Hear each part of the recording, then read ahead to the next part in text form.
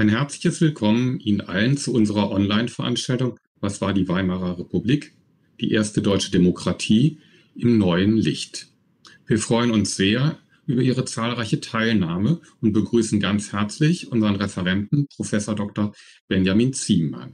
Wir, das sind Dr. Christian Westerhoff, der Leiter der Bibliothek für Zeitgeschichte in der Württembergischen Landesbibliothek und mein Name ist Dr. Christopher Dove. Ich arbeite im Haus der Geschichte Baden-Württemberg. Auch mehr als 100 Jahre nach ihrer Entstehung ist die Weimarer Republik für uns sehr präsent.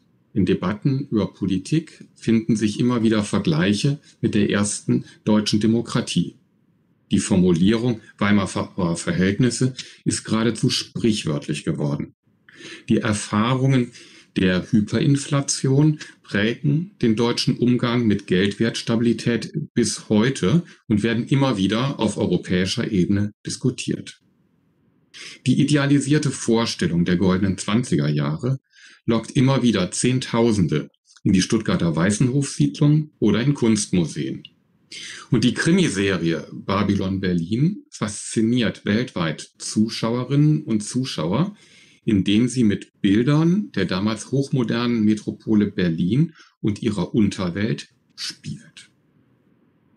Doch welches Bild zeichnet die historische Forschung von der oft zu Klischees geronnenen Weimarer Republik? Dieser Frage wollen wir heute Abend nachgehen. Dazu haben wir beste Ausgangsbedingungen. Denn vor kurzem erschien bei der Wissenschaftlichen Buchgesellschaft ein neues Handbuch zur Geschichte der Weimarer Republik. In diesem fasst ein internationales Team von Expertinnen und Experten den aktuellen Forschungsstand zur ersten deutschen Demokratie pointiert und gut verständlich zusammen. Das Handbuch trägt den Titel Aufbruch und Abgründe und wurde von unserem Gast Benjamin Ziemann zusammen mit seiner Kollegin Nadine Rossol herausgegeben. Herr Ziemann hat zudem wichtige Beiträge in diesem Handbuch selbst verfasst.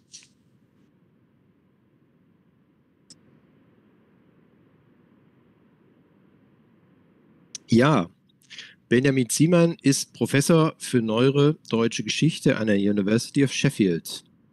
Er gilt als renommierter Experte für die Geschichte der Weimarer Republik. Zu seinen Forschungsschwerpunkten gehören überdies die deutsche und europäische Geschichte des 19. und 20. Jahrhunderts, der Erste Weltkrieg sowie die historische Friedensforschung. Schon mehrfach hat er auch äh, in der Vortragsreihe der Bibliothek für Zeitgeschichte vorgetragen. Grund hierfür ist äh, nicht nur, dass er natürlich ein äh, sehr netter Referent ist, sondern auch, dass er eine breite Palette an unterschiedlichsten Themen erforscht, ähm, ja, zu denen man ihm natürlich dann immer wieder gern zuhört. So hat er 2015 in der Bibliothek für Zeitgeschichte zu Gewalt im Ersten Weltkrieg gesprochen. Zum Ersten Weltkrieg ist er dank zahlreicher herausragender Publikationen, die mittlerweile Standardwerke sind, einer der weltweit führenden Experten. 2020 hat er dann eine Biografie zu Martin Niemöller vorgelegt und damit ein neues Kapitel aufgeschlagen. Er hat erstmals gezeigt, dass der streitbare Pfarrer nach 1945 zwar zum Pazifisten geworden war, aber Antisemit geblieben war. Heute wollen wir nun über sein neues Handbuch zur Weimarer Republik sprechen. Ja, wie Sie unschwer sehen, haben wir es hier mit einer Online-Veranstaltung zu tun. Äh, wir hätten sie gerne äh, vor Ort in der Württembergischen Landesbibliothek durchgeführt. Äh, die Entwicklung der Corona-Pandemie hat dies leider nicht erlaubt. Ähm, sie haben aber die Möglichkeit, auch hier an dieser Veranstaltung aktiv teilzunehmen. Schreiben Sie uns einfach im Chat Ihre Fragen. Wir werden sie dann nach dem Vortrag an Benjamin Ziemann richten. Also Sie können gern schon jetzt die Frage stellen. Wir notieren sie dann und bringen sie dann später vor. Ähm, ein wichtiger Hinweis ist noch, dass wir diese, äh, diese Veranstaltung aufzeichnen. Das heißt, äh, sollten Sie jetzt nicht in der Lage sein, die Veranstaltung komplett live zu verfolgen äh, oder wenn Sie sich später nochmal was äh, anschauen wollen, was Sie jetzt vielleicht so nicht im ersten Moment mitbekommen haben, können Sie dies ohne Probleme tun. Ähm, wir werden sie auf dem Wissenschaftsportal LISA der Gerda Henkel Stiftung online stellen, dauerhaft. Doch nun hat erstmal der Referent das Wort. Benjamin, the floor is yours. Vielen Dank, Christian. Äh, schöne Grüße nach Stuttgart. Äh, sehr herzlichen Dank für diese Einladung, die mich sehr freut, äh, weil dieses Handbuch hat Nadine Rossel und unsere Beiträgerinnen und Beiträger und mich einige Jahre sehr auf Trab gehalten. Und es ist schön, wenn wir jetzt auch über diese Themen sprechen können. Eine Vorbemerkung vielleicht vorab. So ein Handbuch ist natürlich eigentlich nicht der Ort, wo neue Forschungsergebnisse, grundlegend neue Forschungsergebnisse äh, diskutiert werden. Der Zweck eines Handbuchs ist mehr gesichertes Wissen zu bündeln, abrufbar zu machen. Aber ich denke, dass in dieser kompakten Präsentation doch auch Themen sichtbar werden, die in der Fülle der Detailforschung, die für Laien eh oft vollziehbar äh, sind, untergehen und dann nur so eine randständige Position haben und dass dadurch auch durch diese Bündelung eben neue Fragen und Themen zur Geschichte der ersten deutschen Demokratie in das Blickfeld rücken. Das möchte ich an drei Spielen kurz erläutern. Zuvor möchte ich aber noch mal an einige der grundlegenden großen Interpretationslinien erinnern, welche die wichtigsten Gesamtdarstellungen zur Epoche vertreten haben. Und in unserer Sicht sind das drei Bücher, allesamt aus der Feder westdeutscher Historiker. Wir können gerne später auch über die Rolle der DDR-Geschichtswissenschaft sprechen oder der amerikanischen, was auch wichtig wäre die für uns den Rahmen für die Deutung der Republik eigentlich prägen. Das zunächst Hans Mommsen, Die verspielte Freiheit 1989. Und der Titel seines Buches macht schon deutlich, wen Mommsen für den Untergang der Republik verantwortlich machte. Das waren in erster Linie die liberalen bürgerlichen Eliten, welche ihre liberalen Ideen bereitwillig aufgaben. Vor allem die Bildungsbürger, also universitär gebildete Berufsgruppen, Ärzte, Rechtsanwälte, protestantische Pfarrer und nicht zuletzt Studenten und Hochschullehrer waren es, die, so Mommsen, einem politischen Irrationalismus huldigten und damit entweder selbst zum Nationalsozialismus fanden oder aber dessen Geschäfte erleichterten. Mommsen hatte auch beißende, wirklich beißende Kritik übrig für die überalterte Führung und für den Immobilismus der Sozialdemokratie. Aber seine schärfsten Attacken waren für das Bildungsbürgertum reserviert. Eine soziale Gruppe, die in der Weimarer Republik gerade einmal ein Prozent der Bevölkerung ausmachte. Heinrich August Winklers 1993 veröffentlichte Gesamtdarstellung hat eine andere Ausgangsposition. Winkler sieht die Weimarer Republik als eine durch die industrielle Wirtschaft geprägte Klassengesellschaft. Und um das demokratische Gemeinwesen in den krisenhaften ökonomischen Bedingungen der 20er Jahre zu festigen, habe es eines Klassenkompromisses äh, bedurft zwischen der organisierten, den organisierten industriellen Interessen und der organisierten Arbeiterschaft. Auf diesem Klassenkompromiss beruht für Winkler die Gründung der Republik. Das war das Stinnes-Legin-Abkommen vom November 1918. Aber dieser Kompromiss wurde dann versprüchig und seit 1928 dann auch schrittweise von den Unternehmern aufgekündigt. Damit war die Republik nicht länger zu halten. Einen anderen Akzent setzte wiederum 1987 Detlef Peukert, der die Weimarer Zeit als Krisenjahre der klassischen Moderne interpretierte.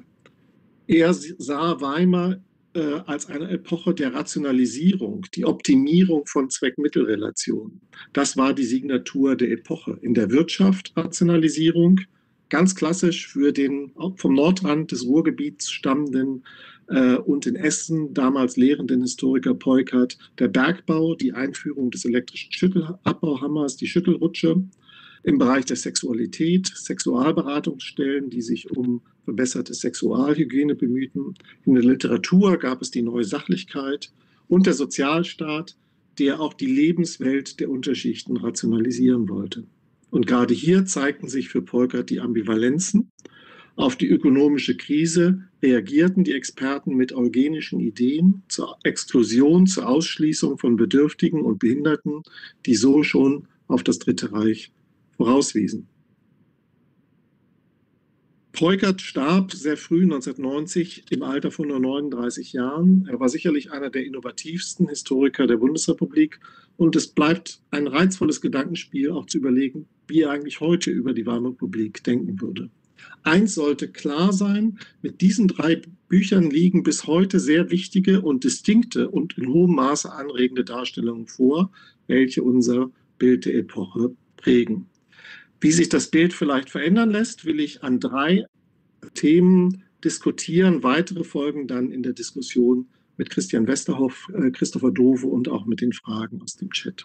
Die erste Frage, die ich stellen möchte, war Weimar eine Republik ohne Republikaner. Dabei handelt es sich um einen sehr alten Topos. Bereits 1919 bemerkte der evangelische Theologe Ernst Trölsch, dass in Diskussionen das Schlagwort von der Republik ohne Republikaner verwandt wurde. Linke Intellektuelle Karl von Ossietzky, Kurt Tucholsky stimmten dem zu, beklagten den Mangel an Unterstützung für das demokratische Gemeinwesen. Und auch die drei eingangs genannten Gesamtdeutungen teilen diesen Punkt am stärksten wohl Hans Mommsen. Er sah im Sozialdemokratischen Republikschutzverband, dem Reichsbanner Schwarz-Rot-Gold 1924 gegründet, eigentlich nicht mehr als eine Spielwiese für antidemokratische Soldatenspielerei.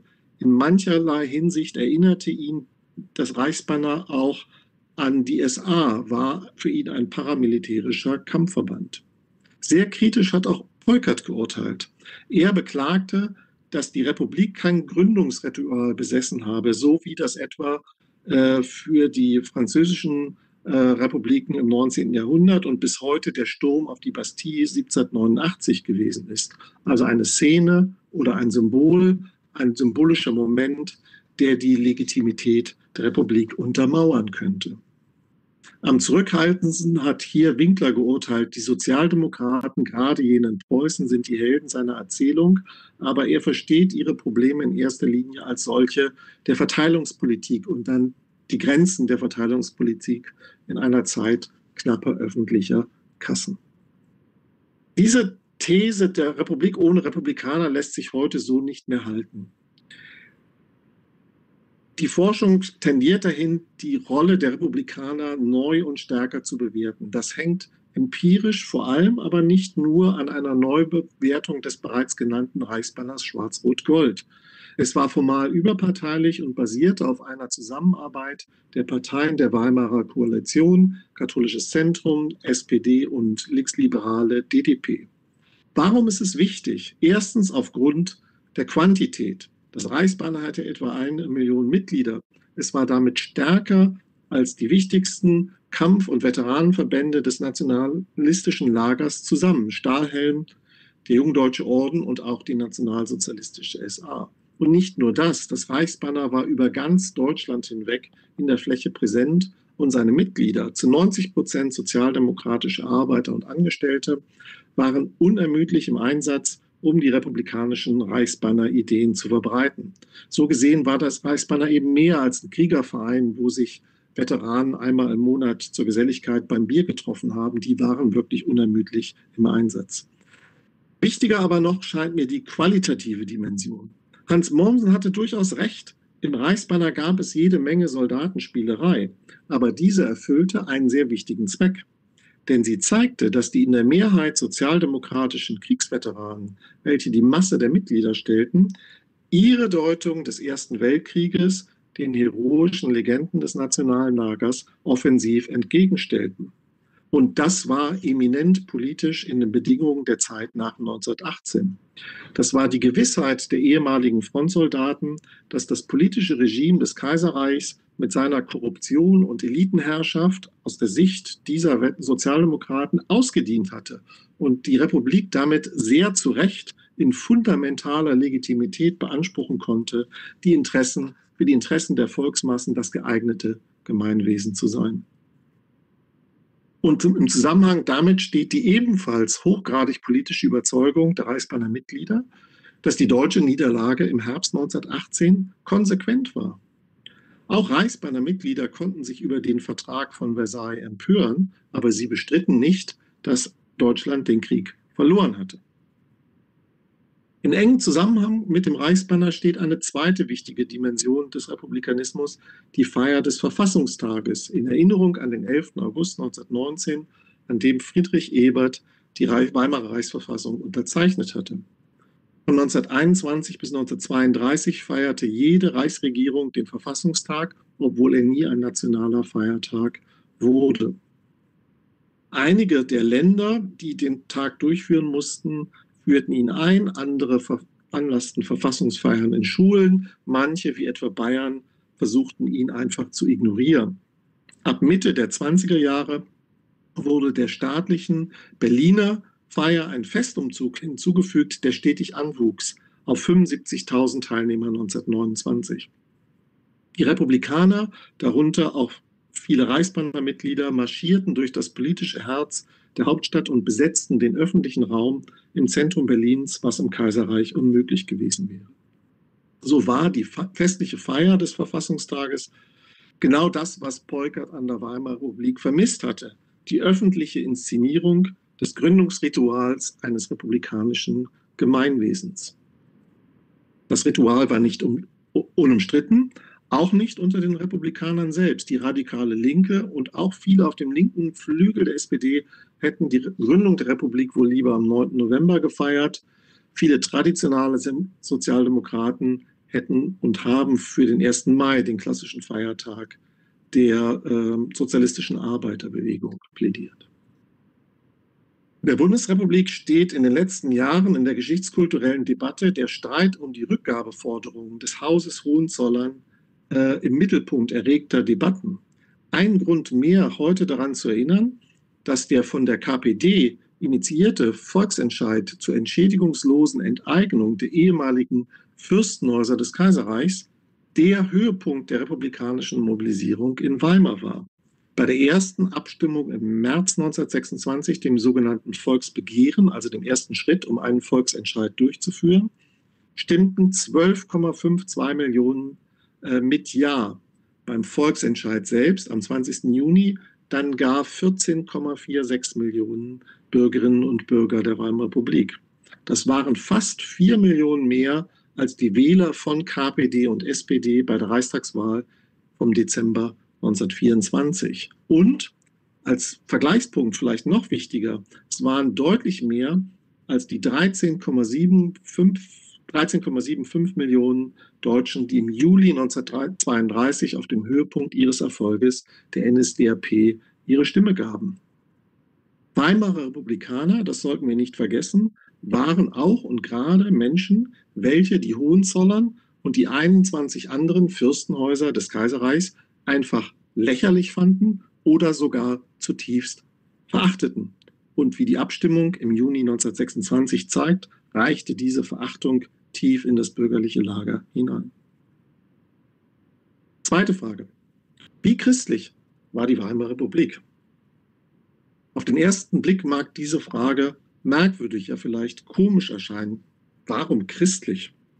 In den drei genannten, eingangs genannten Gesamterstellungen werden die christlichen Kirchen jeweils nur ganz kurz erwähnt. Und auch sonst spielen christliche Religion und Konfession in unserem Geschichtsbild der Epoche keine Rolle. Und das ist ein Problem. Denken wir etwa an die Revolution 1918-19. Wir alle kennen den sogenannten Spartakusaufstand Anfang 1919 in Berlin, der gar kein Spartakusaufstand war, weil der Spartakusbund erst auf den Zug aufsprang, den eigentlich die revolutionären Obleute in Fahrt gesetzt hatten. Weniger bekannt ist aber, dass die größten Massenbewegungen Anfang 1919 nicht von Seiten der Linken kamen, sondern Demonstrationen von evangelischen und katholischen Christen waren. Sie demonstrierten in Berlin und vielen anderen Städten, vor allem Preußens, gegen die radikalen Pläne zur Trennung von Staat und Kirche, die der preußische Co-Kultusminister Adolf Hoffmann von der USPD vorgelegt hatte. Hoffmann war ein Freidenker und durch seine antikirchliche Agitation hatte er sich schon vor 1914 den Spitznamen Zehn Gebete Hoffmann erworben. Seine Pläne zielten auf ein Ende der staatlichen Subventionen für die Kirchen und die radikale Entkonfessionalisierung des Schulwesens. Durch die massenhaften Proteste aufgeschreckt, stoppten die Mehrheitssozialdemokraten die geplanten Reformen und verschoben die weitere Debatte auf den St. Nimmerleinstag. Ein zweites Beispiel, das Frauenwahlrecht. Der Rat der Volksbeauftragten hatte es gleich im November 1918 eingeführt und bei den Wahlen zur Nationalversammlung am 19. Januar 1919 wurde es erstmals praktiziert. Es ist in letzter Zeit, seit 2018, oft und zu Recht als eine wichtige demokratische Errungenschaft der Republik gewürdigt worden, gerade auch im internationalen Vergleich.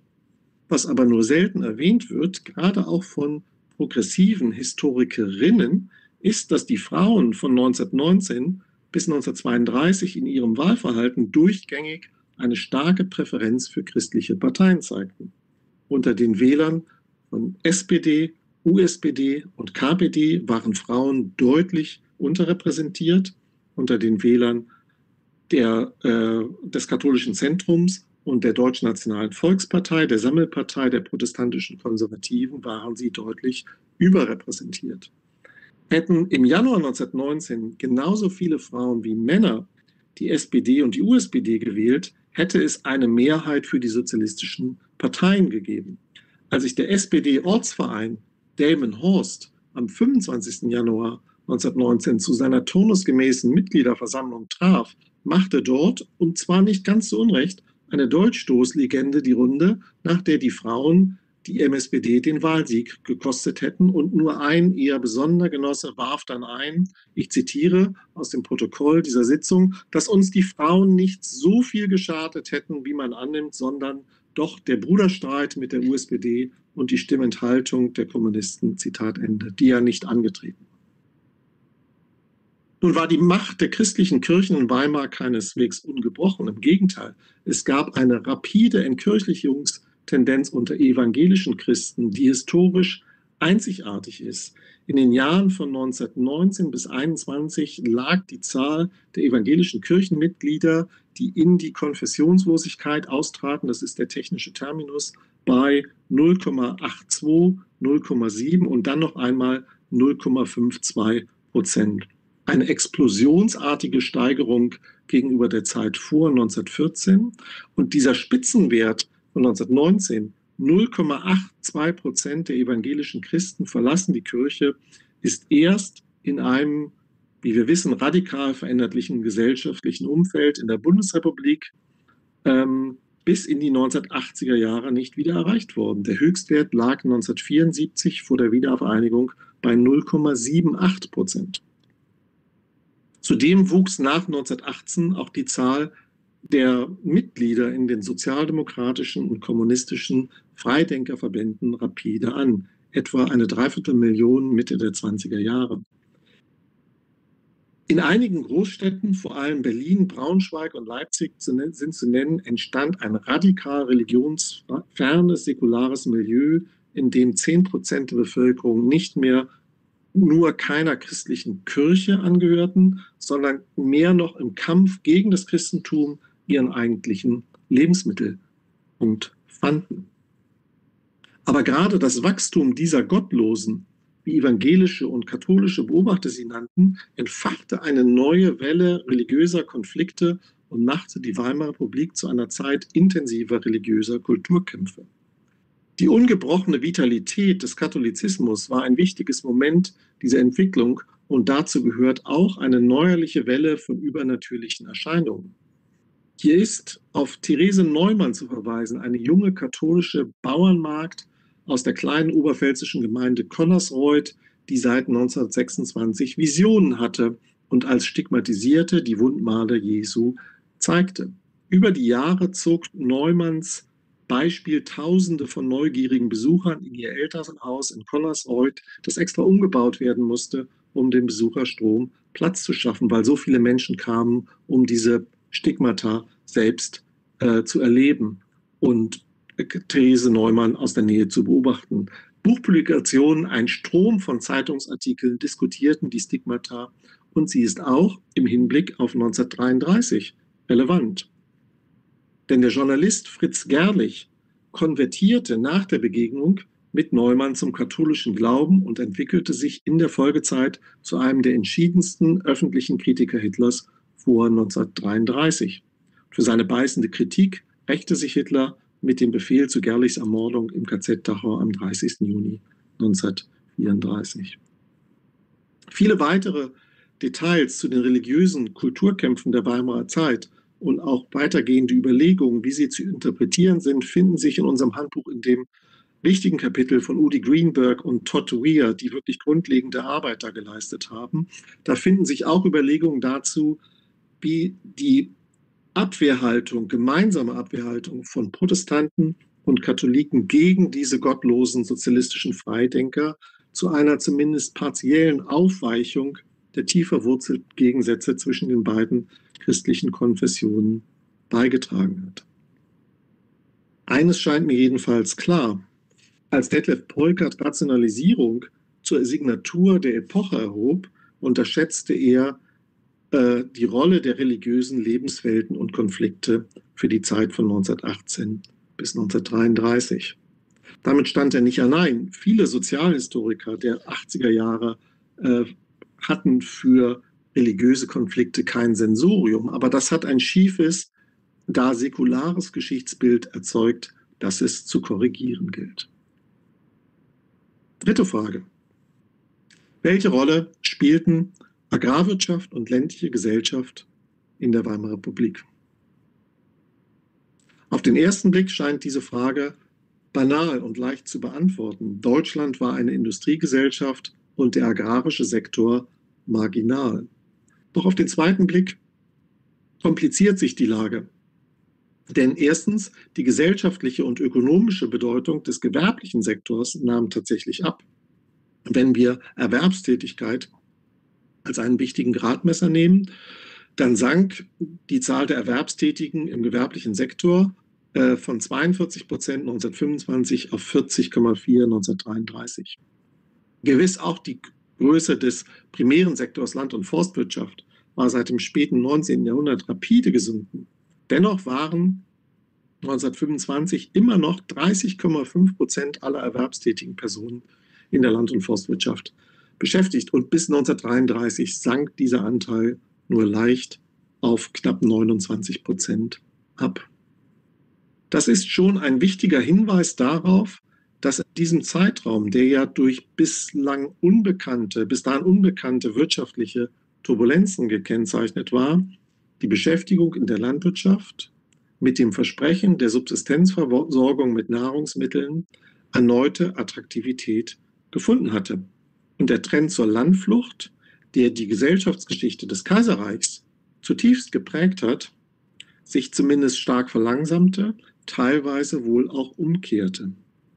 Aber die Angaben der Erwerbsstatistik geben nur ein sehr unvollständiges Bild, denn sie sind notorisch unzuverlässig, gerade in der Erfassung des landwirtschaftlichen Nebenerwerbs. Dafür ist es besser, auf Statistiken für die Bewirtschaftung von Land zu schauen. Wenn man das tut, dann ergibt sich, dass 1907 36 Prozent aller, Betriebs aller landwirtschaftlichen Betriebseinheiten eine Fläche von weniger als 0,5 Hektar bewirtschafteten. Bis 1933 stieg dieser Anteil auf 63 Prozent. Seinen Höchstwert hat er übrigens erst in der Bundesrepublik 1949 mit 72 Prozent äh, erreicht. Diejenigen, die diese Flächen bewirtschafteten, zum Vergleich, ein Fußballfeld in der Bundesliga ist bei etwa 7100 Quadratmetern normiert. Das waren selbstredend keine Bauern im üblichen Sinne des Wortes. Einige von ihnen Landbesitz oder Landpacht am oberen Ende der 0,5 Hektar waren Arbeiterbauern, wie es sie gerade in Württemberg ähm, häufig gab, die zur Fabrikarbeit pendelten mit dem Fahrrad oder auch mit der Eisenbahn nach Feierabend und am Wochenende dann ihre Parzelle Land bewirtschafteten. Die meisten oder ein, doch sicherlich die meisten dieser pa Parzellenbesitzer mit Parzellen unter 0,5 Hektar, und zwar gerade wenn man sozusagen noch weiter runter geht, waren Arbeiter. Punkt. Es waren Menschen wie etwa Paul Meik, 1891 geboren, der 1908 aus Westpreußen nach Essen zugewandert war und dort bis zu seiner Pensionierung 1957 in der berühmten Kruppschen Gussstahlfabrik gearbeitet hat. Über Mike sind wir exzellent informiert, denn auf der Basis der Vorarbeiten von Alf Lüttke hat Janos Stoiber, ein sehr innovativer junger Historiker und Experte für die Geschichte von Tagebüchern, jüngst das Anschreibebuch von Paul Mike ediert, Mike M-A-I-K, und auch kommentiert. Ein wunderschön produziertes Buch. In den knappen Notizen, die Mike in seinen Kalender eingetragen hat, finden sich praktisch keine Bemerkungen zu seiner Arbeit bei Krupp. Außer es wurden Feierschichten gefeiert, also er, er ging dann nicht zur Arbeit. Und nur ganz wenige, die seine politischen Präferenzen erkennen lassen. Anfang der 1920er Jahre tendierte Mike wohl zur KPD. Stattdessen war sein Notizbuch gefüllt mit Eintragungen über die Arbeiten, die er verrichtet hat, die Saat- und Erntezeiten in der kleinen Parzelle, die er bewirtschaftete, um seine Familie in der von Ernährungskrisen geprägten Weimarer Zeit über Wasser zu halten. Der Historiker Michael Prinz hat einmal errechnet, dass in den frühen 1930er Jahren fast ein Drittel aller deutschen Haushalte eine solche Kleinstparzelle bewirtschafteten. Darunter waren nicht zuletzt die etwa 1,5 Millionen Mitglieder von Schrebergartenkolonien, aber dieses Phänomen geht noch weit darüber hinaus.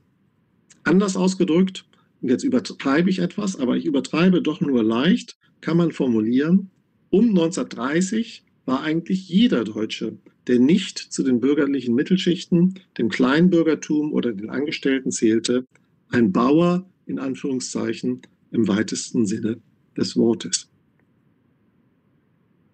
Mit diesen Bemerkungen über Parzellenwirtschaften möchte ich Ihnen die kaum überschätzbare Bedeutung der Agrarwirtschaft für die Lebensweise und eben auch die Lebenshaltung vieler Bevölkerungsschichten in dieser Zeit andeuten. Aber eigentlich noch wichtiger ähm, ist und noch mehr ist es mir um die Landwirtschaft im engeren Sinne zu tun, also um jene Bauern, Landarbeiter und Großgrundbesitzer, die hauptberuflich, haupterwerbstätig in der Landwirtschaft waren. Da gibt es viele Themen, die ich ganz kurz einmal anreißen ähm, möchte, ohne sie ausführlich darstellen zu können.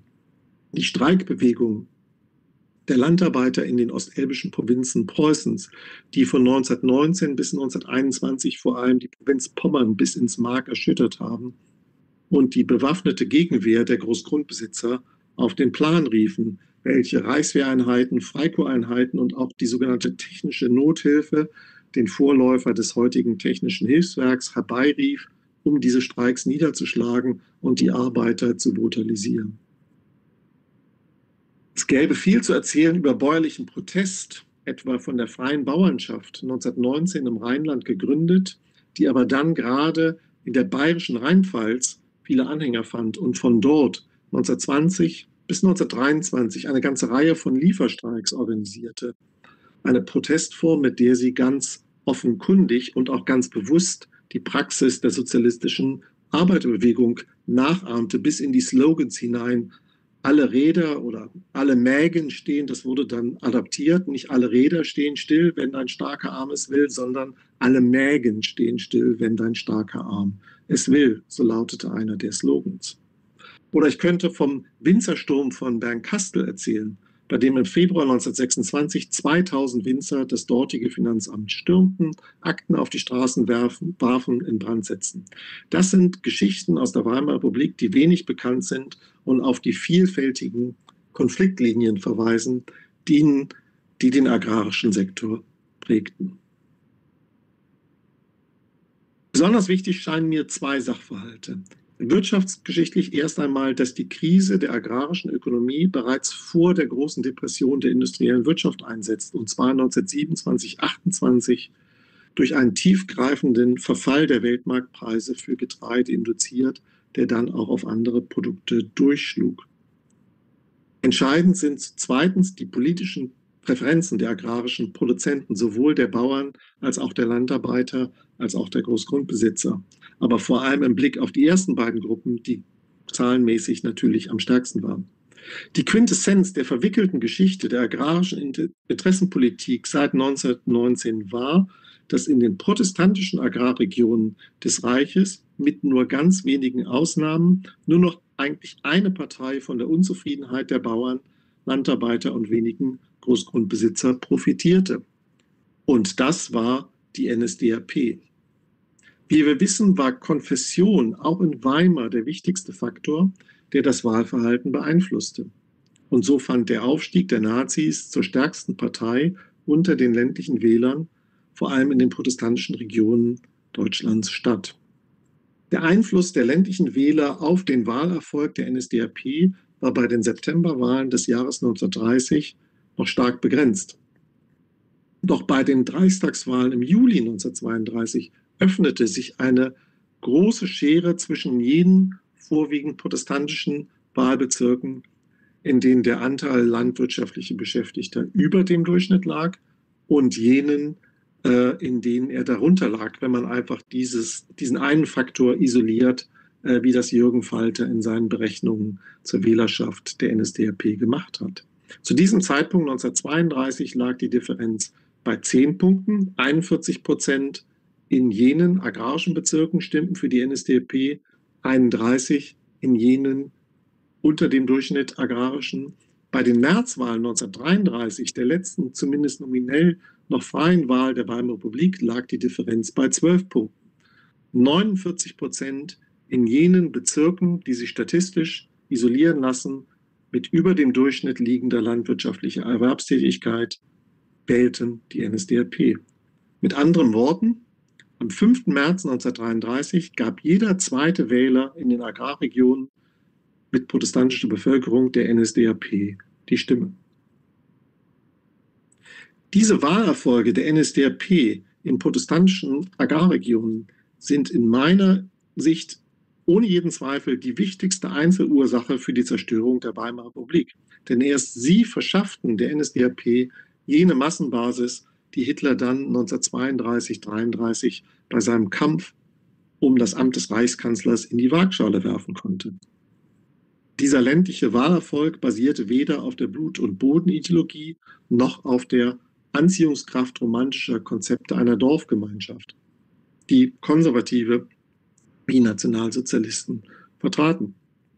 Die Bauern und Landarbeiter stimmten für die NSDAP, weil deren populistische Rhetorik ihre Ressentiments gegen die Weimarer Republik geschickt aufgriff und dörfliche Meinungsführer Pfarrer und Großbauern die Parolen der NSDAP verstärkten und ihnen Legitimität verschafften. Ich komme zum Schluss und möchte abschließend noch zwei Punkte hervorheben.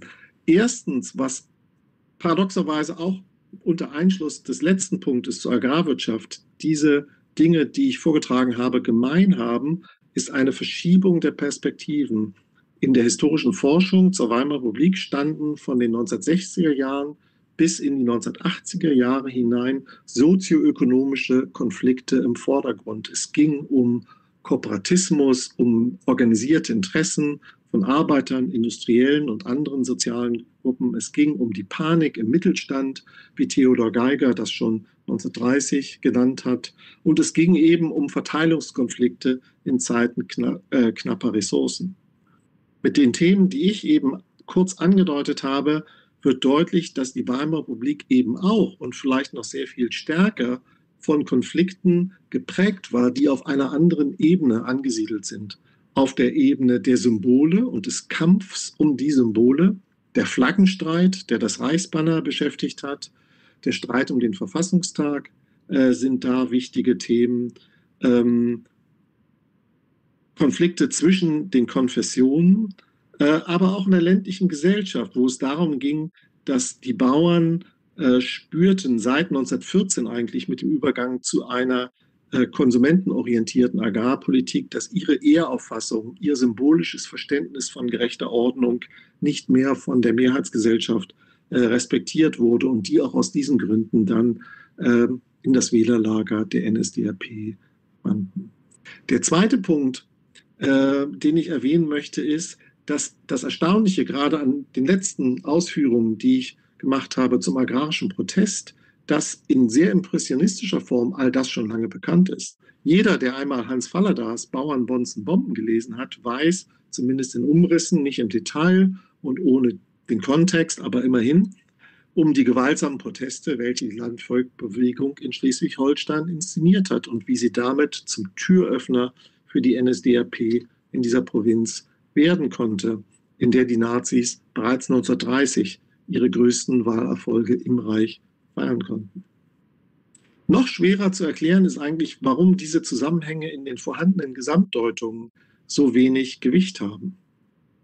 Winklers Kernthese vom äh, nötigen industriellen Klassenkompromiss verliert an Prägnanz und ich finde auch an Relevanz, wenn die eigentliche Ursache oder die, eine der wichtigsten Ursachen für die Zerstörung der Republik im Agrarsektor zu suchen ist. Und Polkerts Krise der klassischen Moderne ließe sich wohl eher treffender als die Krise des klassischen Agrarsektors reformulieren.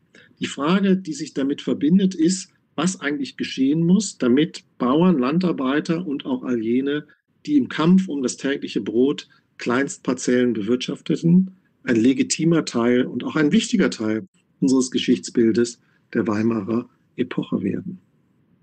Diese Frage ist allerdings nicht einfach zu beantworten und ich denke, sie wird uns in anderer und auch allgemeiner Form im Weiteren beschäftigen. Und so möchte ich hier meine Ausführungen zu diesen drei Themenkomplexen aus der Geschichte der Weimarer Republik abschließen und gebe das Wort an Christopher Dove und Christian Westerhoff zurück. Ja, Benjamin, vielen herzlichen Dank für deinen Überblick ähm, und für diese neuen Einsichten in die Geschichte der Weimarer Republik. Ähm, wir wollen es jetzt so gestalten, dass wir dir hier sozusagen vom Podium ähm, nochmal, ich hole mal den Christopher noch dazu, vom Podium ein paar Fragen stellen, bevor wir dann äh, die Fragerunde für die Allgemeinheit öffnen. Es hat im Chat auch schon die eine oder andere Frage gegeben äh, die wir dann natürlich vortragen werden. Ja, ähm, du hast es schon angedeutet, ähm, dass ähm, das äh, ländliche stärker ähm, in den Blick rücken soll, als es bisher getan äh, wurde. Ähm, daran knüpft ein bisschen meine erste Frage an. Ähm, das Innovative an eurem Handbuch ist unter anderem, äh, dass ihr die föderale Vielfalt der Weimarer Republik in den Blick nehmt. Also Weimar. Weimar ist nicht nur Berlin sozusagen. Ähm, und äh, da würden sich mir zwei Fragen daran anschließen. Und das eine ist, ähm, ob man mit Blick auf diese föderalen Besonderheiten sagen kann, dass ähm, die äh, politische Geschichte ähm, einen besonderen badischen und württembergischen Weg kannte zwischen 1918 und 1933. Der Stuttgarter Historiker Wolfram Püter hat äh, kürzlich seine Überlegungen äh, zu einer Stuttgarter Republik ähm, vorgestellt, also wo er so weit ging, dass er sagte, warum eigentlich Weimarer Republik? Ähm, ähm, und ja, im Prinzip spielt das auf zwei Dinge an. Das eine ist, ähm, dass eben die Gegensätze, die ja die Weimarer Republik so stark prägen und die auch unser Bild natürlich von der Weimarer Republik sehr, sehr stark prägen, ähm, in Württemberg und in Baden nicht so stark ausgeprägt war, dass in Württemberg aber gleichzeitig auch seit Mitte der 20er Jahre eine äh, wesentlich konservativere Stoßrichtung in der Politik vorherrschte. Ähm, da würde mich natürlich einfach interessieren, was du zu dieser These sagst äh, von der Stuttgarter Republik. Ähm, wenn wir da nochmal nach Norddeutschland gucken, stellte sie mich jetzt äh, auch im Zusammenhang mit deinen letzten Ausführungen die Frage, ob man sagen kann, ob es eher ähm, Reg Regionen gab, die eher zu undemokratischen Lösungen neigten. Du hast jetzt Schleswig-Holstein schon genannt. Äh, und Regionen, die eher bis lange, ähm, ja, bis zum Ende der Weimarer Republik eher demokratische Tendenzen aufwiesen. Äh, du hattest die Landarbeiter schon erwähnt und äh, wie sie halt ähm, die ähm, ja, äh, Republik halt mit unterminiert haben, weil sie halt enttäuscht waren und sich schnell den Nationalsozialisten zugewandt haben. Aber das war ja nicht unbedingt überall so. Es gab auch Landarbeiter, gerade in katholischen Gebieten, sogenannte Heuerleute, die eher ähm, ja, der Demokratie bis zuletzt die Stange gehalten haben. Danke. Ähm, Erstmal dieses Thema Föderalismus ist sehr wichtig aus einer Reihe von Gründen. Erstens, weil, wenn auch leicht abgeschwächt gegenüber der Geschichte des Kaiserreichs, der Föderalismus und ein wichtiges Strukturprinzip der Politik auch in der Weimarer Republik war und ist, meine, es ist ein wichtiges Strukturprinzip der deutschen Politik bis in die Gegenwart hinein. Und so gibt es in den verschiedenen also demokratischen Staaten, die alle auf einer, das schrieb die Weimarer Reichsverfassung vor, dass also alle Einzelstaaten des Reiches auf demokratischer Grundlage äh, operieren mussten. Ähm, sozusagen gibt es dasselbe Grundmodell, aber dann eben sehr unterschiedliche Verlaufsformen. Aus diesem Grund finde ich die, ich habe mir diesen Vortrag von Herrn Püter angehört, finde das sehr interessant. Ich finde das allein schon großartig, sozusagen einmal so gegen den Strom zu schwimmen und einfach die Umbenennung der Weimarer Republik äh, so vorzunehmen, zumal wir ja wissen, dass die Weimarer Republik selber gar nicht Weimarer Republik hieß, sondern eben das Deutsche Reich. Es war die Verfassung, was wir die Weimarer Verfassung nennen oder die Verfassung der Weimarer Republik war die Verfassung äh, des Deutschen Reiches. Das ist äh, interessant und hat auch einiges für sich. Ich würde das vielleicht nicht überbetonen wollen oder würde ich würde es etwas anders akzentuieren, weil Eugen Bolz, der württembergische Staatspräsident von der Zentrumspartei, der dann später im Dritten Reich in den Widerstand äh, gegangen ist, hat eben, war auch kein lupenreiner Demokrat. Also Konsens vielleicht ja, aber es ist bekannt ein Zitat, dass Bolz äh, 1930 zu seiner Frau wohl gesagt hat, dass ihm eigentlich eine Diktatur auf Zeit äh, für die nächsten zehn Jahre oder so auch lieber wäre als dieses ganze äh, Kuddelmuddel. Also wie viele auf dem rechten Rand der Zentrumspartei war äh, äh, Bolz kein lupenreiner Demokrat in dem Sinne, anders als etwa Otto Braun, der preußische Ministerpräsident. Und so gesehen äh, ist es dann in der Praxis, in der Realität doch ein bisschen komplexer, zumal, wie du schon angedeutet hast, äh, seit, 19, seit den Wahlen 1924 die SPD, die ja sonst äh, Teil dieser Weimarer Koalition war, die bis 1932 in Preußen ja äh, an der Regierung war, eben ausgeschlossen wurde. Ein gewisser Kurt Schumacher hat sich ja als Oppositionsführer der SPD äh, da seine Meriten äh, verdient.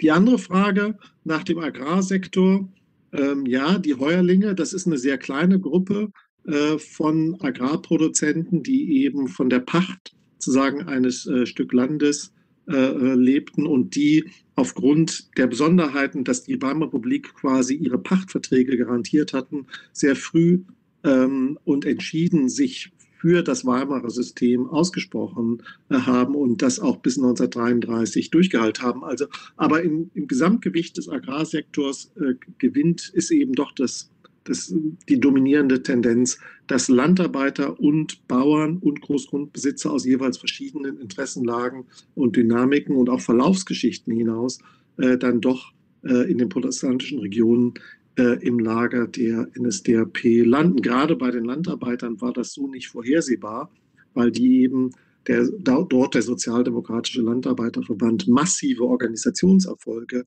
äh, gehabt hat 19, 1920 auch in Pommern, aber sich dann eben gezeigt hat für diese Landarbeiter, dass die SPD doch die Partei war, die eben Konsumenteninteressen äh, vertreten hat äh, äh und aufgrund natürlich auch der Repressalien, äh, die ich schon erwähnt hatte, äh, dann die in einem anderen Lager äh, gelandet sind.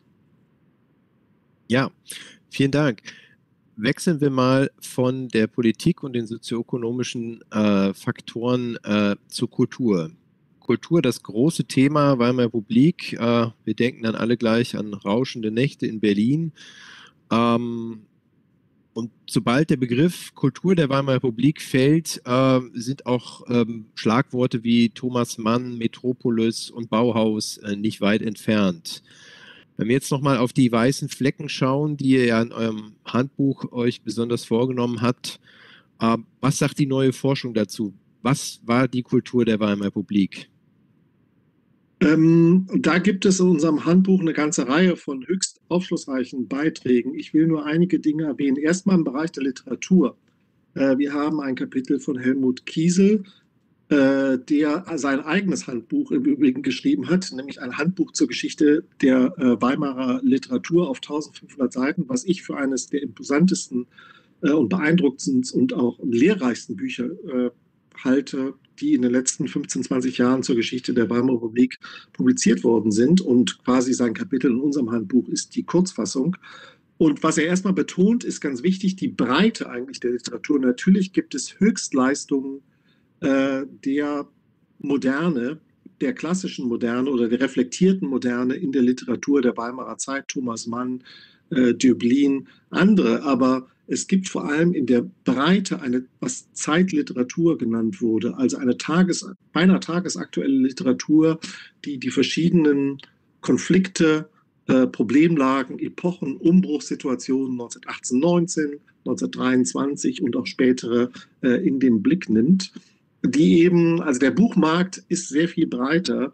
Äh, man hat dort auch ein Re Rezeptionsproblem, weil selbst von den Autoren, die man in Lexika findet, also hunderte oder einige hundert, auch das nur äh, einen winzigen Teil eigentlich des Buchmarktes der Zeit äh, widerspiegelt, der noch sehr viel äh, breiter ist. Ähm, ein Beispiel dafür nur. Einer der meistgelesensten Autoren der Weimarer Republik ist jemand, den heute eigentlich kaum noch jemand kennt und der auch nur bei Kiesel äh, ganz kurz erwähnt wird. Das ist Emil Ludwig. Den kennen Historiker äh, noch, weil er diese äh, historischen äh, Biografien geschrieben hat, äh, äh, Bücher über historische Gestalten, Bismarck und andere und damit in eine Kontroverse verwickelt wurde mit der Historikerzunft der Weimarer Zeit, die viele Spalten in der historischen Zeitschrift schon damals, das sozusagen Flaggschiff der deutschen Geschichtswissenschaft, äh, äh, bedruckt hat, um die Methode von Ludwig als unseriös äh, abzuqualifizieren. Aber Ludwig war ähm, in vielen Feldern vom Journalismus, ähm, Interviewbände mit äh, wichtigen Politikern der Zeit, Theaterstücke aktiv, war international hoch anerkannt, hat sehr viel hohe Auflagen verkauft, ist dann noch vor 1933 ins Exil gegangen. Das ist ein Typ des Massenliteraten, kann man sagen, der breit rezipiert wurde, der aber eben zum Kanon der deutschen Literaturgeschichte so nicht unbedingt äh, dazugehört. Insgesamt ist das ähm, dann die weitere Tendenz ist eben der Blick für die Massenkultur. Beispiel Film, Metropolis wird immer genannt, gehört zum Geschichtsbild der Weimarer Republik dazu. Der Punkt ist nur, dass äh, sich niemand an den Kinokassen für Metropolis interessiert hat. Äh, die Produktionsgesellschaft, die UFA, wäre beinahe pleite gegangen, weil die Produktionskosten so hoch waren äh, und eben niemand den Film sehen wollte. Technisch gesehen, wenn ich das mal zuspitzen darf, haben wahrscheinlich mehr Menschen in der Weimarer Republik Therese Neumann in ihrem elterlichen Wohnhaus gesehen, als es Menschen gab, die äh, äh, Metropolis im Kino gesehen haben. Was im Kino gesehen wurde, äh, was beliebt war, waren Schnulzen, romantische Schnulzen, die heute niemand mehr sich freiwillig angucken würde. Vor idealisierten Heidelberger Altstadtgässchen mit romantischen also cheesy Plotlines, wie man im Englischen äh, sagen würde, das ist die Massenkultur im Kino der Weimarer Republik.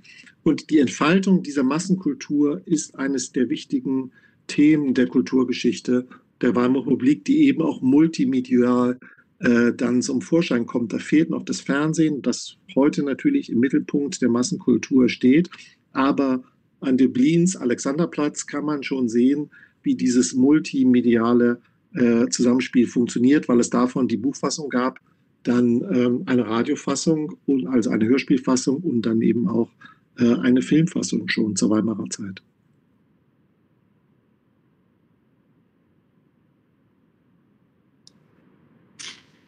Blicke auf die Geschichte sind ja immer standortgebunden. Das haben Sie ja am Anfang auch schon mal kurz angerissen. Lange Zeit wurde ja die Weimarer Republik als Vorgeschichte des Nationalsozialismus, Nationalsozialismus dargestellt und von ihrem Ende her dann verstanden und interpretiert. Können Sie uns noch mal kurz pointiert zusammengefasst Ihren Blick, Ihre Sicht zu so einem Blick auf die Weimarer Republik vortragen? An der Bedeutung der Epochenzäsur 1933 gibt es ja gar keinen Zweifel ähm, auch wenn es in der Fachdiskussion der letzten 10, 15 Jahre eine Tendenz gegeben hat. Ähm, wichtig ist da vor allem das wichtige Buch von Helmut Smith, äh, Fluchtpunkt 1941, der gesagt hat, dass eigentlich die Epochenzäsur 1933 sich relativiert, wenn wir die genozidale Kapazität des Nationalsozialismus zentral stellen wollen, fokussieren wollen, weil dann 1933 ein Schritt in eine Diktatur ist, wie sie wie, wie er in anderen Ländern Europas auch seit Mitte, Ende der 20er Jahre erfolgte, aber sich damals die genozidale Kapazität der NS-Herrschaft noch nicht direkt abgezeichnet hat. Trotzdem, trotz dieser Diskussion, denke ich, gibt es daran keinen Zweifel, dass die Aufgabe der Weimarer Forschung bleibt, zur Erklärung von 1933 beizutragen. Aber ich denke nicht, dass sich die Geschichte der Weimarer Republik darauf ähm, reduzieren lässt, lässt. Und es ist eine wichtige Aufgabe der Forschung in den letzten 20 Jahren gewesen, eben von dieser Fokussierung, um nicht zu sagen Fixierung auf das Epochenjahr 1933 wegzukommen. Und ich meine, wenn man das nur vergleicht mit einer anderen Epoche der deutschen Geschichte, der Geschichte der DDR, äh, ich meine, gibt es irgendjemanden, der ernsthaft die Geschichte der DDR so verstehen wollte, dass die eigentliche Aufgabe des DDR-Historikers nur sein würde, äh, das Epochenjahr 1989 zu erklären? Auch in diesem Punkt, also in diesem Vergleich, äh, wird schon deutlich, dass die Geschichte der Weimarer Republik darin nicht aufgeht.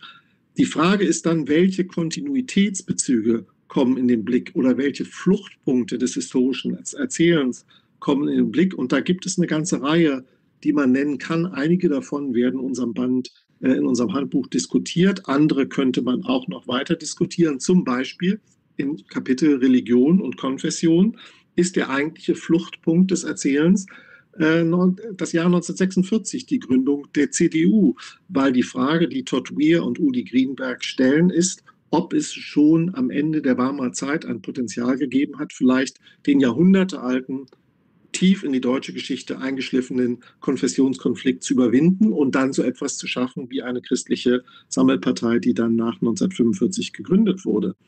Im Blick sagen wir auf Fragen der Sexualität und der sexuellen Selbstbestimmung äh, steht die Weimarer Republik in einer Epochen, in einer historischen äh, Erklärungslinie, die auf die 1960er Jahre äh, vorwegweist und auf die Geschichte sozusagen der zweiten dann äh, sexuellen äh, Revolution. Nochmal zum Thema Massenkultur.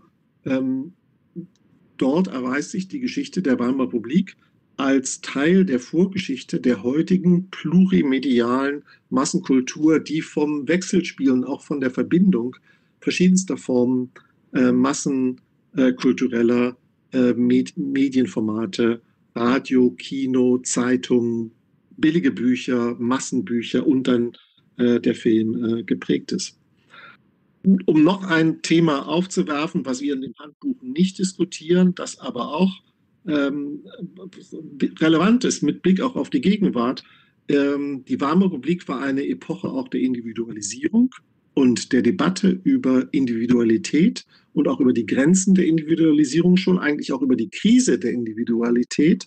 Und das ist etwas, was uns in die Geschichte der Bundesrepublik äh, oder der westlichen Gesellschaften eigentlich der 80er Jahre hineinführt, wenn man zum Beispiel Ulrich Becks Epochenbuch äh, Risikogesellschaft aus den 80er Jahren nimmt, viele dieser Themen und Fragen, die Verunsicherung, die Individualisierung, die Individualisierung von Lebensläufen und das über das Vordringen der Individualisierung aufwirft, das sind Themen, die auch schon am Ende der Weimarer Republik kontrovers diskutiert wurden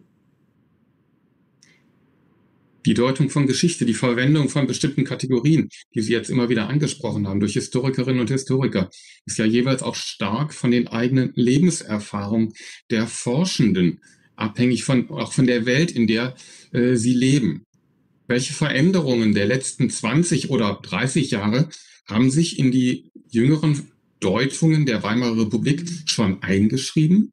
Ich denke etwa oder frage nach der Stellung der Bedeutung der Kriege, die ab den 1990er Jahren plötzlich in Europa wieder geführt wurden oder die vielfach enttäuschten Hoffnungen nach dem Ende des Kalten Kriegs, als man hoffte, dass weltweit immer mehr Demokratie entstehen wird.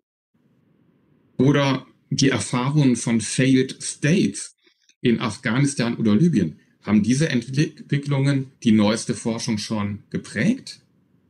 Ähm, die letzten, also Kriege glaube ich nicht. Ich glaube, das Zentrale von den Punkten, die Sie angesprochen haben, ist das Wichtigste, die Krise oder sozusagen das Problem der Demokratie.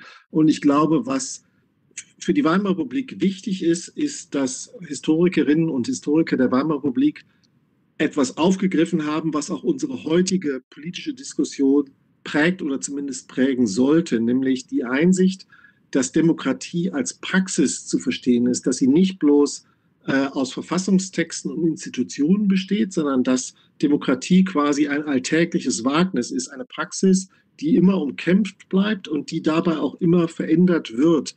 Und ich glaube, was dort passiert ist, dass wir aus ähm, dass Weimar etwas sozusagen die ältere Idee einer eines gescheiterten demokratischen Gemeinwesens, eigentlich von dem Beginn an gescheiterten demokratischen Gemeinwesens, sich etwas relativiert, weil wir in der Gegenwart merken, äh, wie problematisch der Prozess des demokratischen Aushandels von Interessenkonflikten ist, auch wie belastet und zugleich belastbar Institutionen wie Parlamente sind, aber eben auch, dass man auf der Grund der Wahl, dass man die Weimarer Republik neu sehen kann, dass es nicht bloß geht um Entscheidungs- um die großen Schlüsselfragen, die in den Hinterzimmern von Fraktionen äh, und in Parlamenten ausgehandelt werden, sondern dass Demokratie den Einsatz, das Engagement der Massen von Bürgerinnen und Bürgern erfordert. Das ist auch gegendert äh, in verschiedenster Hinsicht. Da spielen Weiblichkeits- und Männlichkeitsvorstellungen eine Rolle.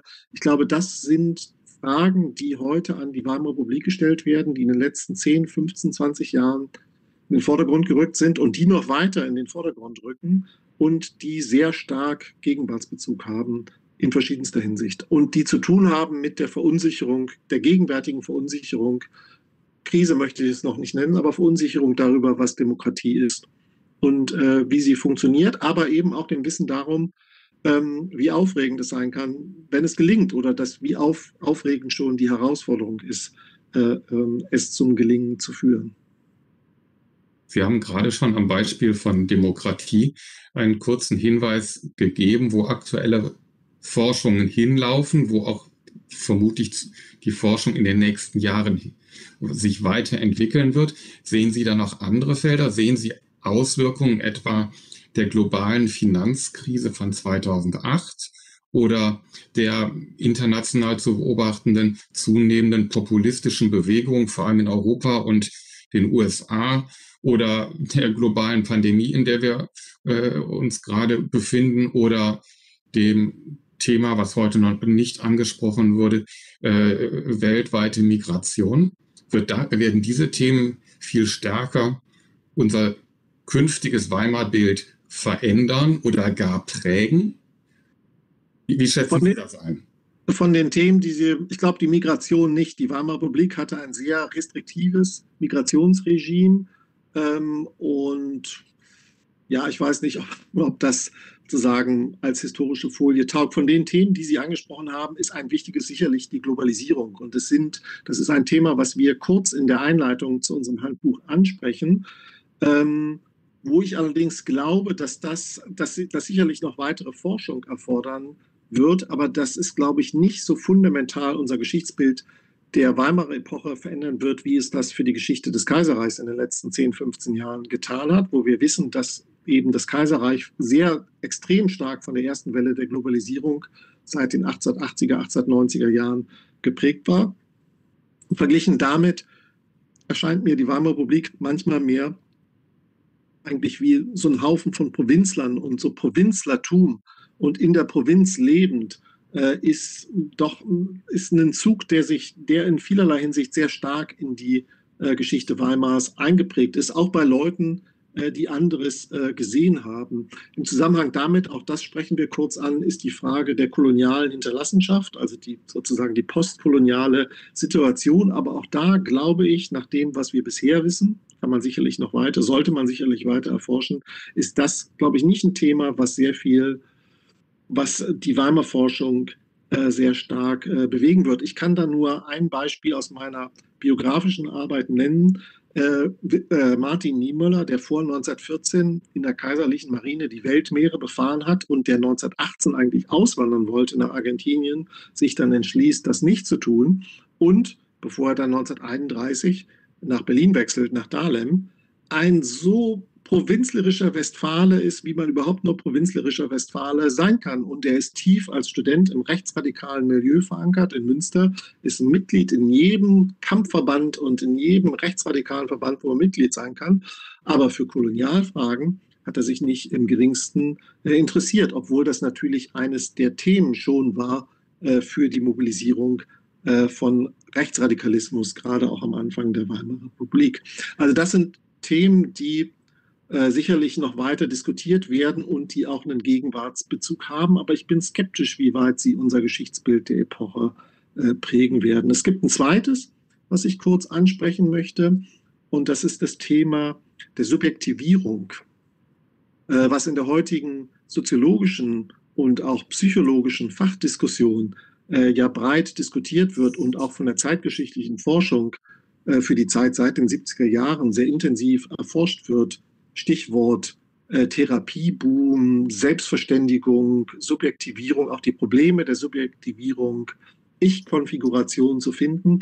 Und das ist was, was eigentlich sehr weimarisch in vielerlei Hinsicht ist. Es gibt äh, Peter Fritschi, einer der großen Innovateure in der Forschung zur Weimarer Republik, ähm, hat das, glaube ich, 2010 zum ersten Mal, vielleicht auch schon ein paar Jahre früher in Reihe von Aufsätzen formuliert. In der Weimarer Republik gibt es eine, einen Hunger nach Erfahrung äh, und diese Erfahrung soll eben subjektive Erfahrung sein. Und ich glaube, was passieren wird und was auch schon im Moment passiert ist, dass wir mehr lernen werden darüber, wie Zeitgenossen der Weimarer Republik auf Subjektivität reflektiert haben und dass zum Beispiel Quellengattungen wie Tagebücher weniger dieses Anschreibebuch von Paul Mike, das ich genannt habe, das eben nur so, naja, seine Ernte und wie viel Kartoffeln er aus seiner Parzelle rausholt, ähm, äh, aufschreibt, aber eben elaboriertere Tagebücher, also wo die eben auch Spiegel sind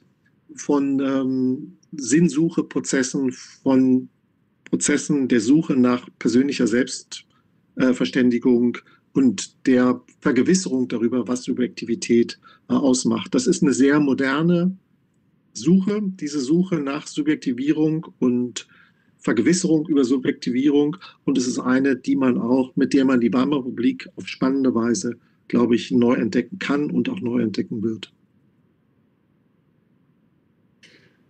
Vielen Dank. Äh, mit Ihrer letzten Antwort äh, haben Sie eigentlich schon einen gleitenden Übergang zu unseren Fragen und Anmerkungen aus dem Chat gemacht.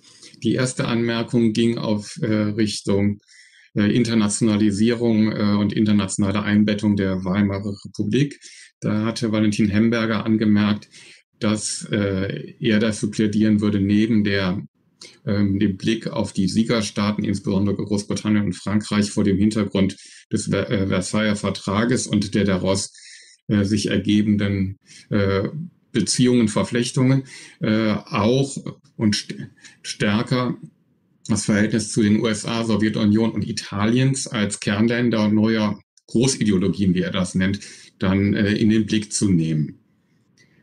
Das war ein Kommentar. Dazu haben Sie jetzt ja auch schon gerade ein paar pointierte Ausführungen gemacht. Mit Blick auf die Uhr würde ich vorschlagen, versuche ich zwei andere äh, Kommentare zusammenzufassen.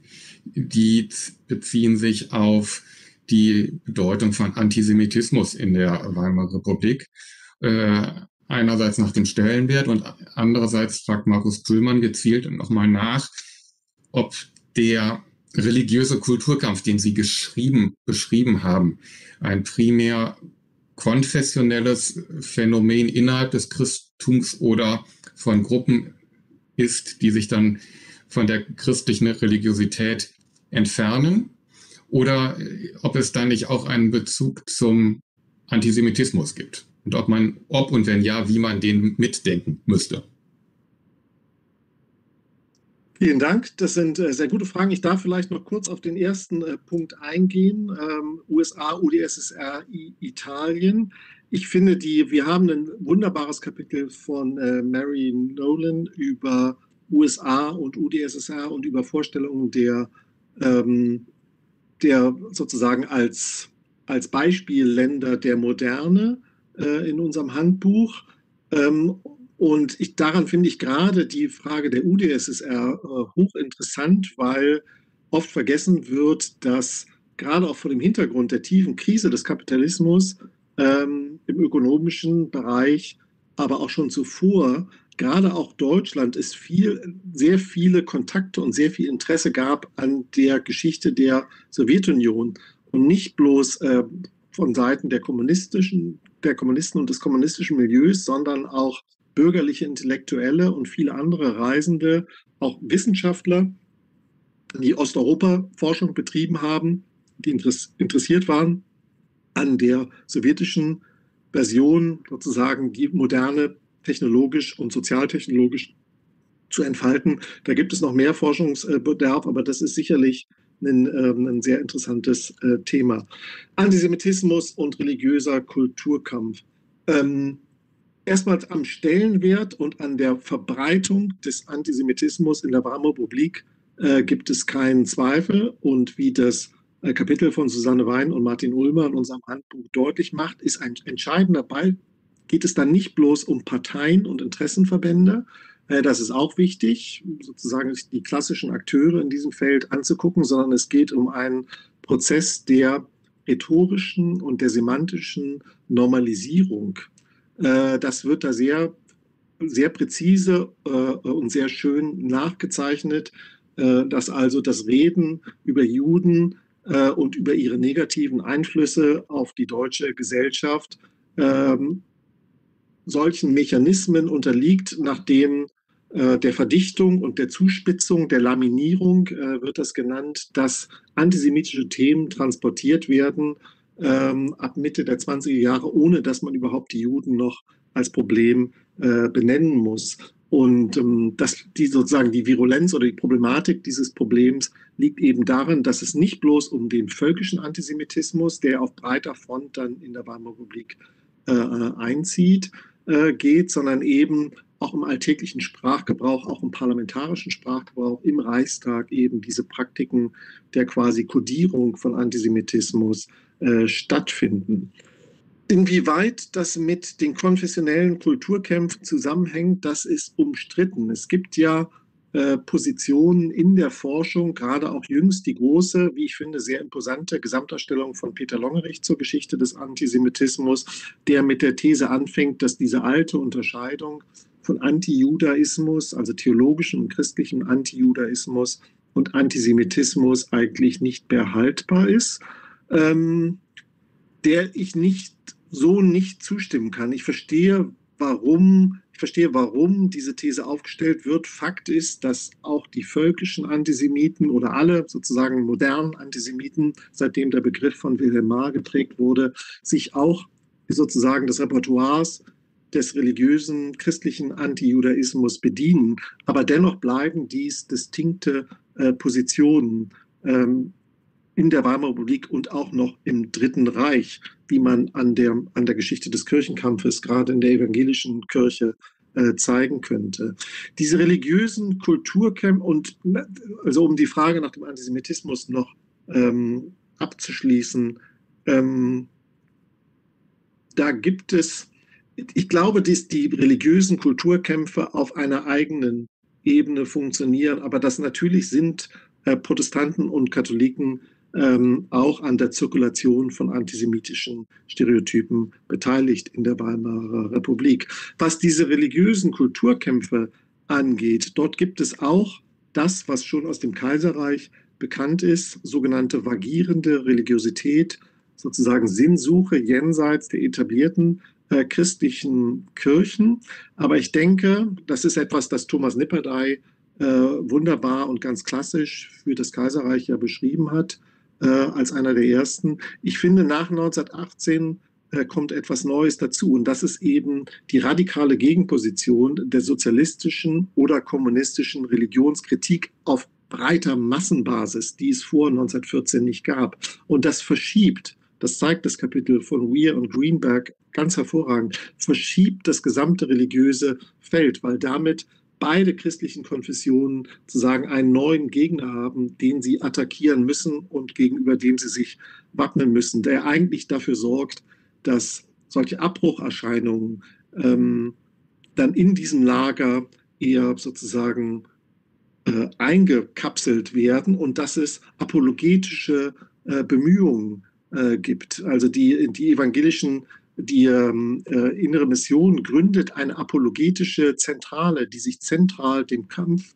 äh, gegen das Freidenkertum und andere weltanschauliche Herausforderungen äh, widmet. Und das zeigt an, ab, also, dass dieses Thema äh, der Apologetik, der Verteidigung der Kernbestände des Christentums, äh, dass das da in den, in den Mittelpunkt rückt. Das sind ganz wichtige Entwicklungen.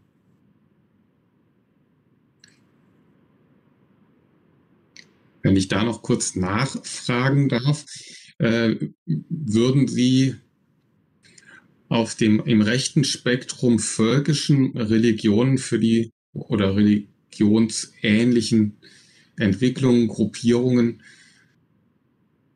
eine marginale Bedeutung zuweisen oder würden Sie denen dann einen zunehmenden Stellenwert dann einräumen?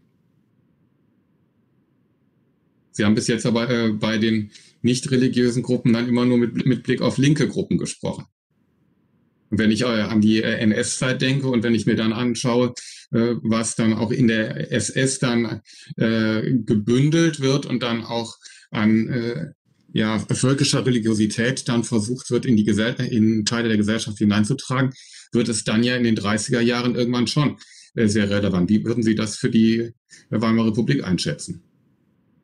Ich, ich weiß, was Sie meinen. Also sozusagen dieses gesamte Phänomen, das dann im Dritten Reich in der Tat an Relevanz gewinnt, der quasi neopaganen völkischen ähm, Denunzierung des Christentums oder Überwindung auch des Christentums, ähm, der Deutschreligiosität oder wie auch immer das dann genannt wurde. Ich glaube, dass das vor 1903, das gibt es natürlich, das ist schon, das entwickelt sich.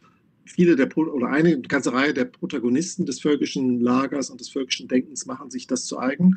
Aber ich glaube, das Wichtige ist eher, dass es noch keinen Resonanzboden für diese, keinen großen Resonanzboden für diese Ideen im, äh, ähm, im protestantischen Spektrum gab. Die deutschen Christen sind eine sehr späte Neugründung am Ende der Weimarer Republik, ja eigentlich dann erst durch die Kirchenwahlen 1932 so richtig auf den Plan gerufen.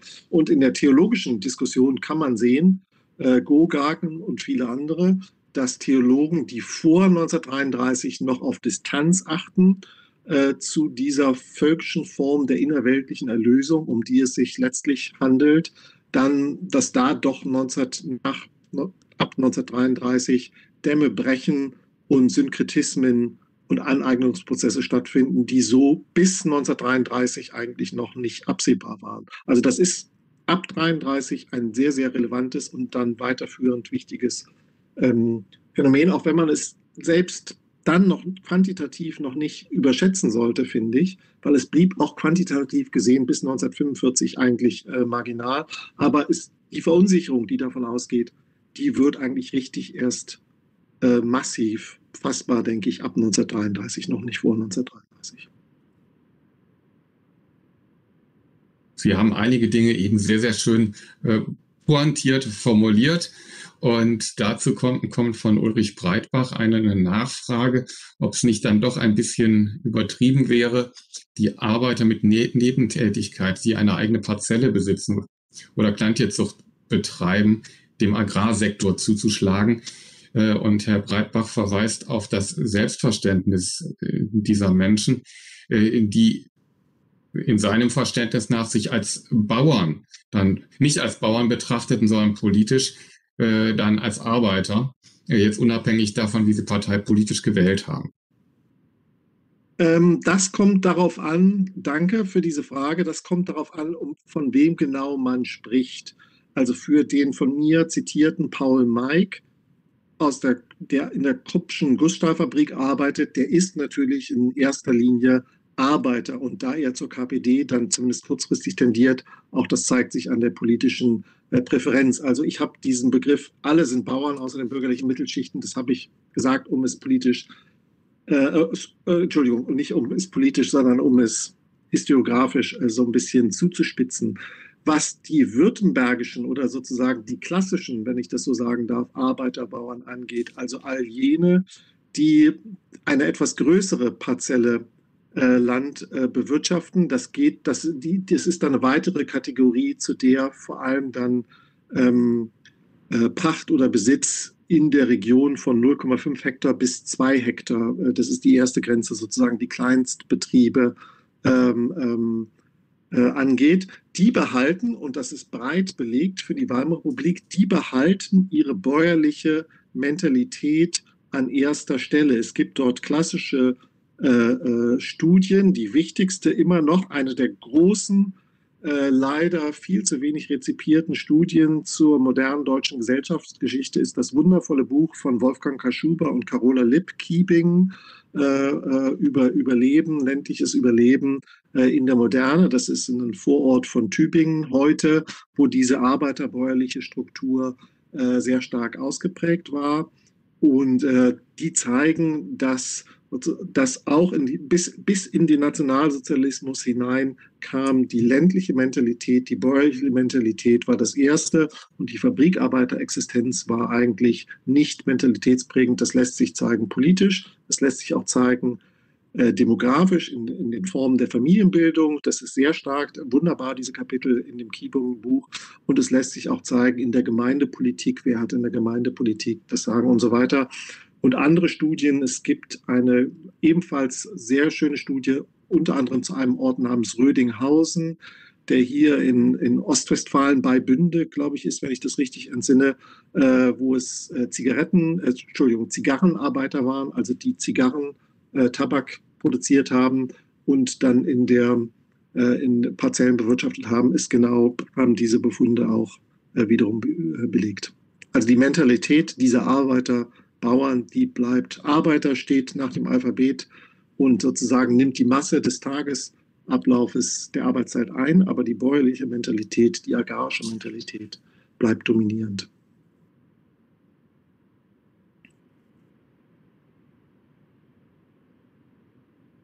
Ähm, wir haben jetzt schon seit längerem noch eine Frage von Gerhard Hirschfeld an dich, äh, Benjamin.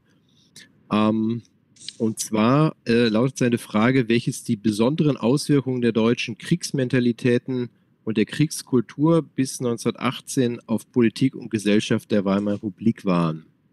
Es geht äh, nicht äh, um die Kriegerdenkmäler und äh, Gedenkrituale, wie sie im Beitrag von Claudia Siebrecht behandelt werden, sondern um den Krieg als mentale Bürde für die erste deutsche Demokratie. Ähm, mir scheint, dass der Kollege Krummeich an dieser Frage auch mitformuliert hat.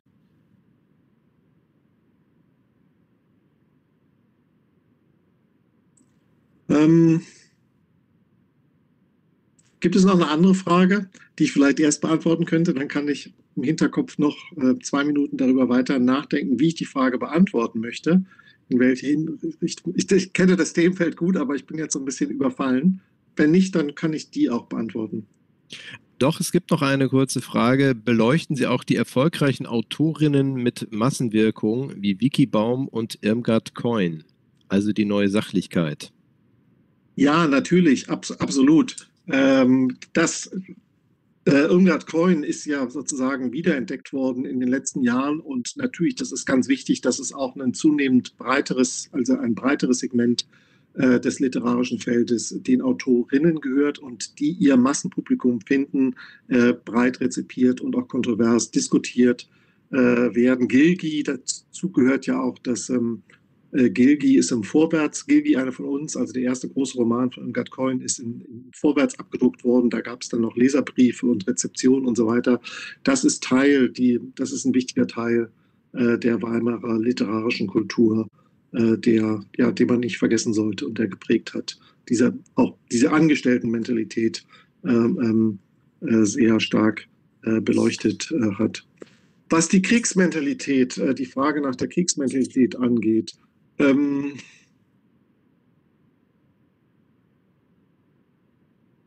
erstmal glaube ich schon, dass die Kriegerdenkmäler, die äh, ähm, Claudia Siebrecht ja nicht nur in ihrem Kapitel behandelt hat, ein wichtiges Thema in dem Zusammenhang sind, weil, und das eigentlich das Argument, das Claudia entfaltet, wichtig ist, weil sie betont, dass dies Fragen sind, die auch jenseits der politischen Zuschreibungen ähm, ähm, zu suchen sind.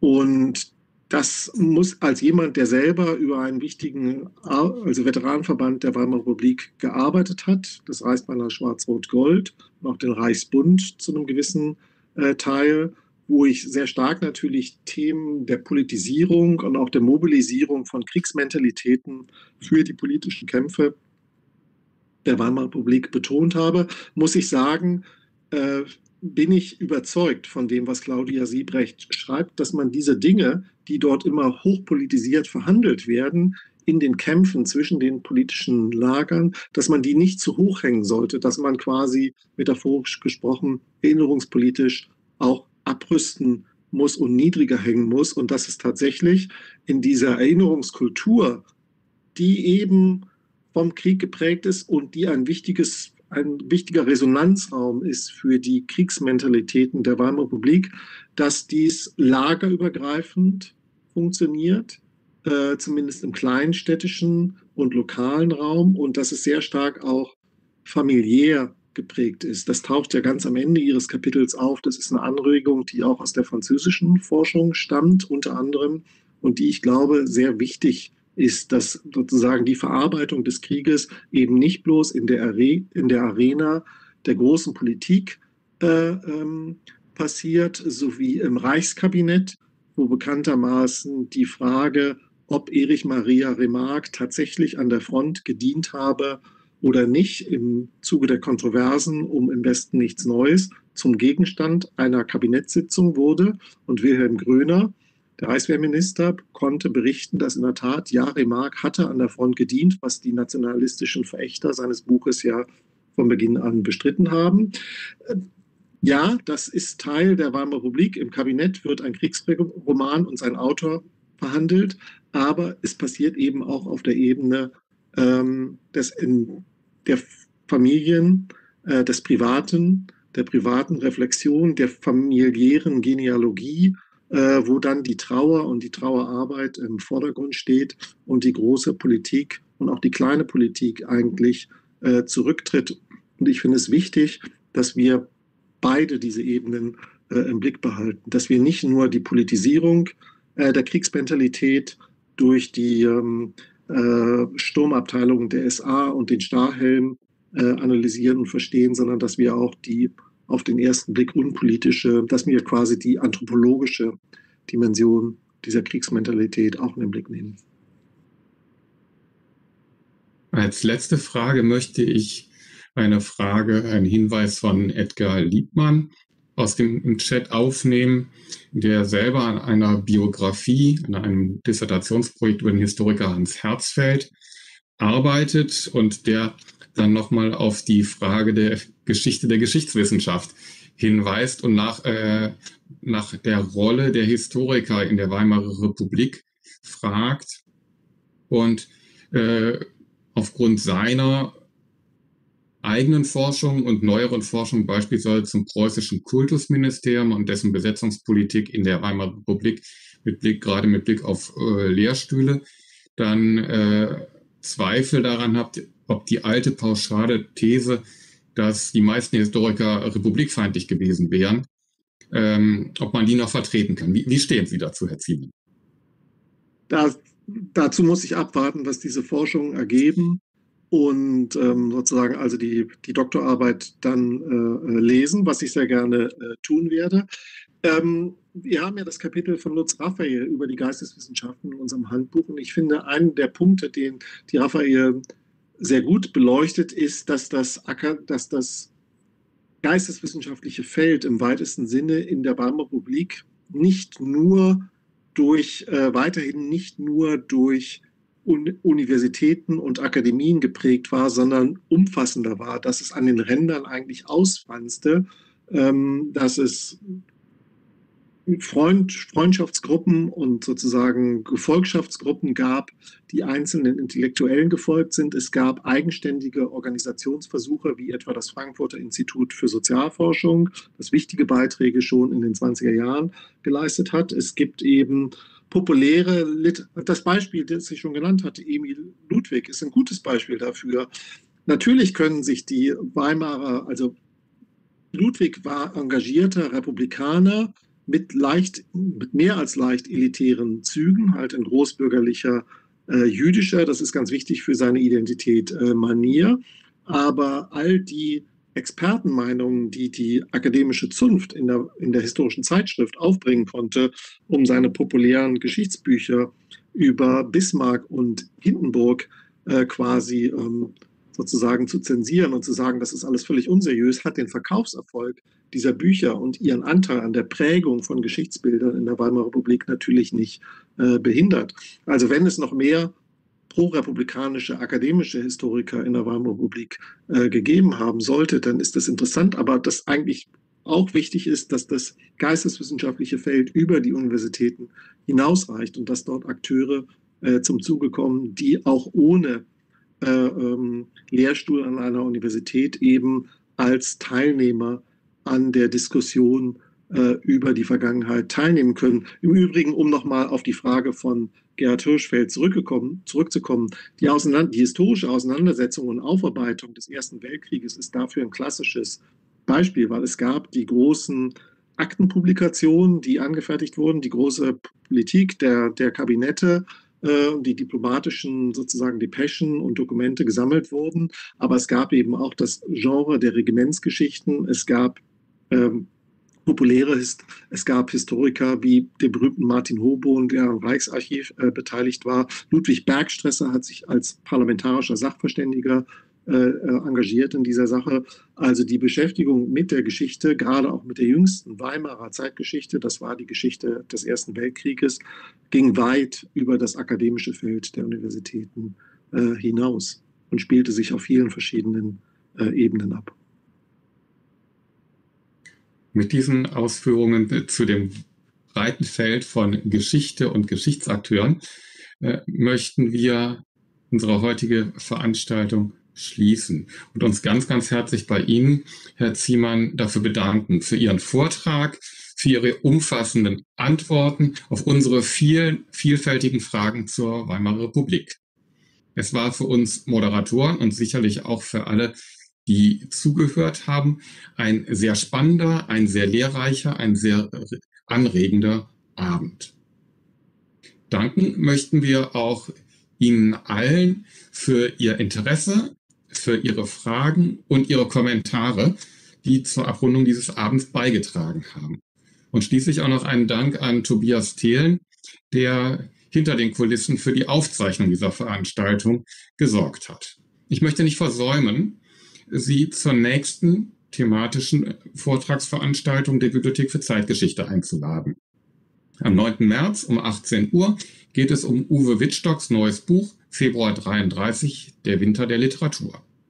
Und allen, die sich für die politischen, gesellschaftlichen und kulturellen Dimensionen von Hass in den letzten gut 200 Jahren interessieren, denen sei die neue Sonderausstellung im Haus der Geschichte Baden-Württemberg empfohlen.